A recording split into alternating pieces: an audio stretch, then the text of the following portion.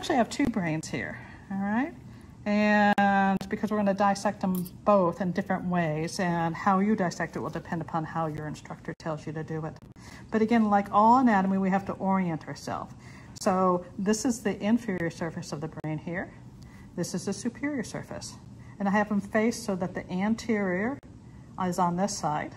Sometimes with the brain, we use the word rostral, which means towards the nose. And down here is the posterior portion. So I'm going to start with this one right here because we're looking at the superior surface. This is what you would see directly underneath the top of your skull. And you can see that there is this glistening surface to it. So the dura mater has been removed. That's the outer covering of the meninges. But you'll see there's sort of a glistening surface. And if I stick my probe inside one of these, I might be able to pull it up a little bit so you can see it. Maybe.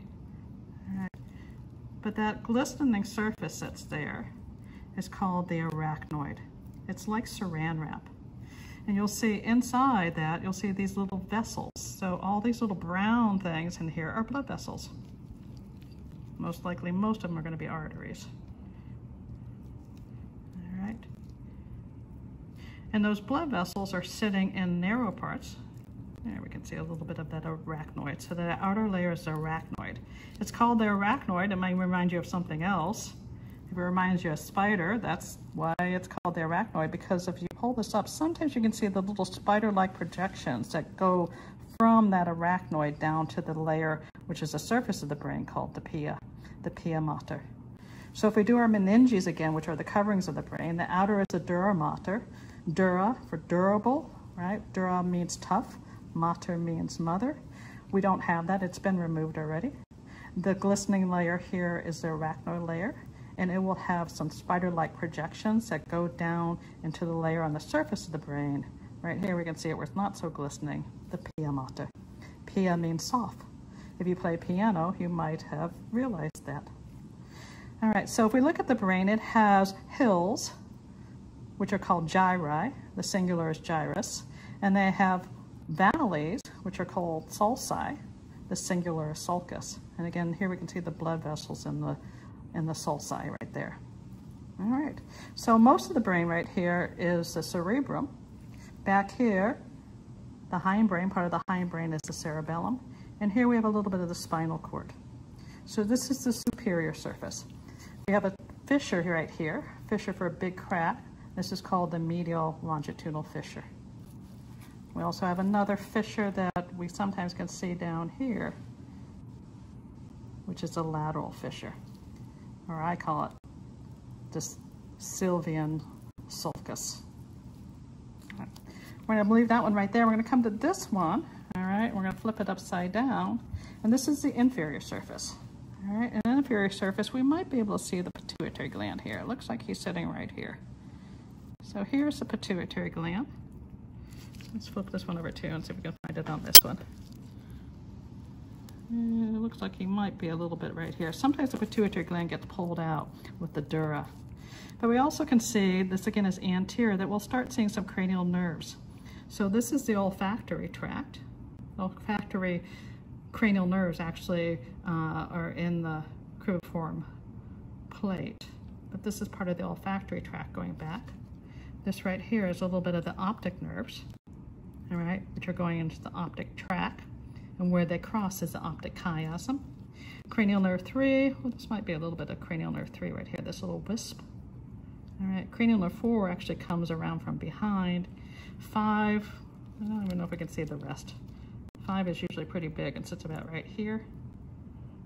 This is probably seven and eight. And then 9, 10, 11, 12 are going to sit down here in the brainstem. Oh, actually, we do have a little bit of the dura. Oh, this helps us. Look what I found. Okay, so this is a little bit of the residual dura. And again, the pituitary gland was right here at the base. And if I pull this up, I'm going to pull the pituitary because he actually sits in between the two portions of the dura. So there's the dura mater. And if you can look, he's very, very, very, very tough. So that was the outer meninges. Outer meninges is the dura mater. The clear glistening is the arachnoid, and the surface of the brain is the pia mater. All right, so there goes the pituitary gland. Ooh, there's cranial nerve two. This is probably number five because he's big. All right, I'm gonna pull them out there. All right, pituitary gland sitting right there. All right, so here again, we're on the posterior, excuse me, we're on the inferior surface. This would be your temporal lobes here. All right, so if we turn this laterally on this one, here's your temporal lobe. They sort of remind me of the earmuffs of the brain. Again, this is anterior, so this would be the frontal lobe, the temporal lobe, the parietal lobe, and way back here, the occipital lobe. In, in us, we would have a central sulcus, which is going to be harder to find on a sheep. So the sulci aren't as well defined. This may be one right here. So this may be the central sulcus. It goes all the way straight up. So if you remember, all right, and let's orient ourselves again. This is anterior, this is posterior. Central sulcus goes all the way towards the medial longitudinal fissure, but does not quite get into it. So if this were the central sulcus, some of this right here should be the premotor cortex, and some of this should be the post-sensory cortex. Premotor gyrus, that is, and post-sensory gyrus. All right. Okay, so let's um, stop that for us. We're going to stop that for a second. And, all right, so let's orient ourselves again. So this is the anterior portion. Uh, and this is the posterior portion. We're looking at the superior surface. All right, one should normally not point with the knife like I just did, but we're going to do uh, coronal cuts right now. So coronal cuts, remember, will give you an anterior and a posterior. And when we do these, we're going to lay them down so that we know what we cut. All right, so we're going to make each one maybe close to 10 millimeters or so in size. So I'm going to slice them out just straight down.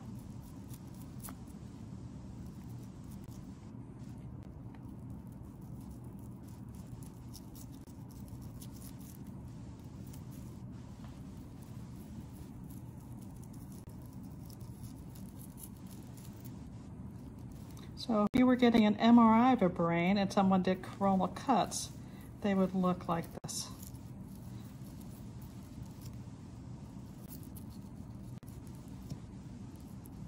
Oh, that's why I've left my dura on this one too. Uh, take that dura off.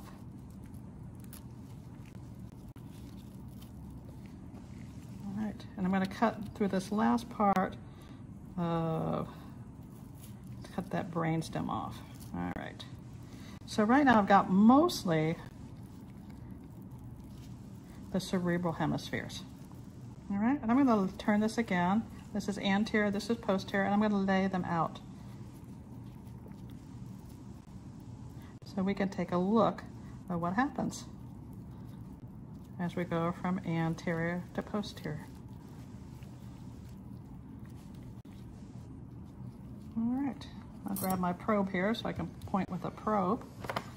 All right, we might be able to see the difference between gray and white matter. So if we look, it sort of looks a little grayer on the outside, and it looks a little whiter on the inside. All right, and that's how they got their name, gray matter and white matter. Gray matter is unmyelinated structures. And so the biggest unmyelinated structure is the cell body. So cell bodies or any neurons that are unmyelinated may be in the gray matter. The white matter is myelinated tracks. So these are mostly axons that are traveling.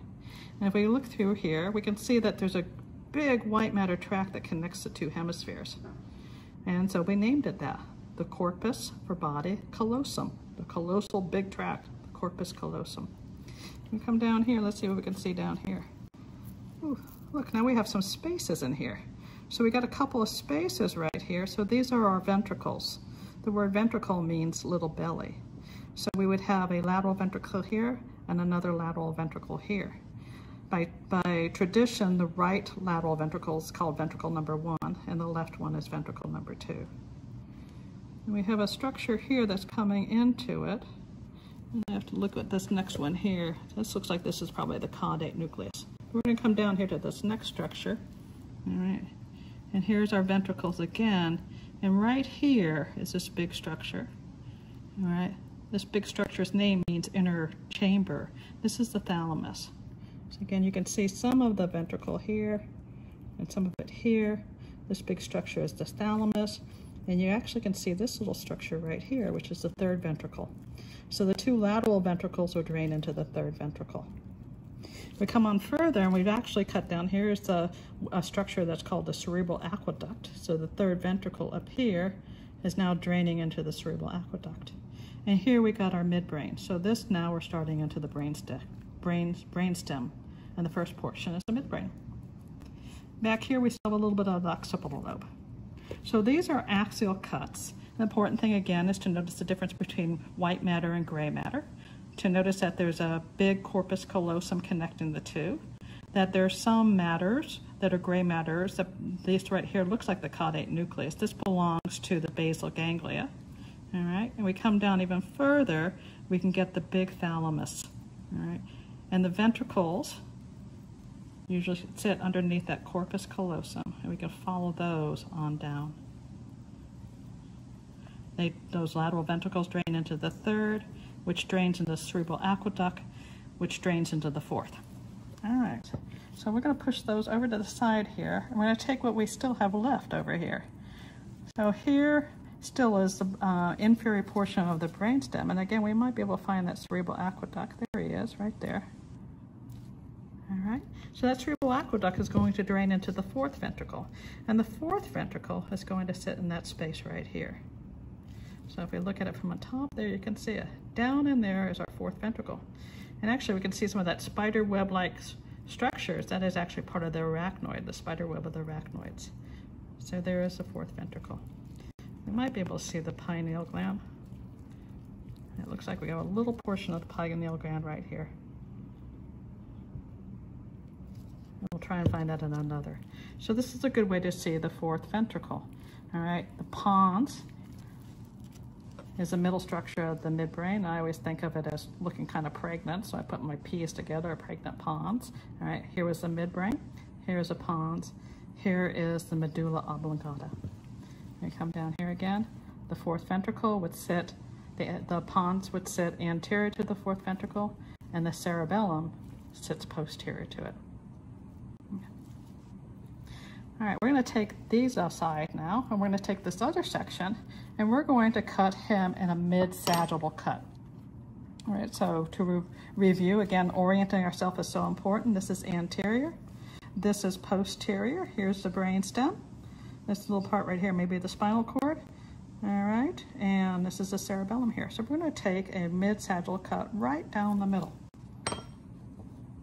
Remember, sagittal cuts give you a right and left side.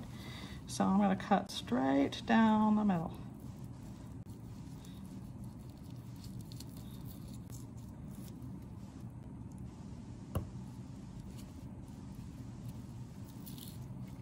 Flip it around so I can cut away from my fingers. There you can see some arachnoid again. Always cut away from your fingers. All right, put the knife down. And now we have mid-sagittal cut here. All right, so if we orient ourselves again, anterior, posterior, here is our cerebellum. All right, now we get another view of the corpus callosum. Here's the corpus callosum right here. All right, underneath the corpus callosum is the ventricle, and I've just po poked through a part called the septum pellucidum so that you could see into the ventricle. So there's a ventricle right there. The floor of the ventricle is the thalamus, sitting right there. Here's a view of the pineal gland. There's a pineal gland. This would be the midbrain. This would be the pons. This would be the medulla. All right, our fourth ventricle would have been sitting right in here, in that space. All right, so let's go over this one more time. Anterior, posterior, corpus callosum, lateral ventricle. This being my left hemisphere, this would be the left lateral ventricle or ventricle number two.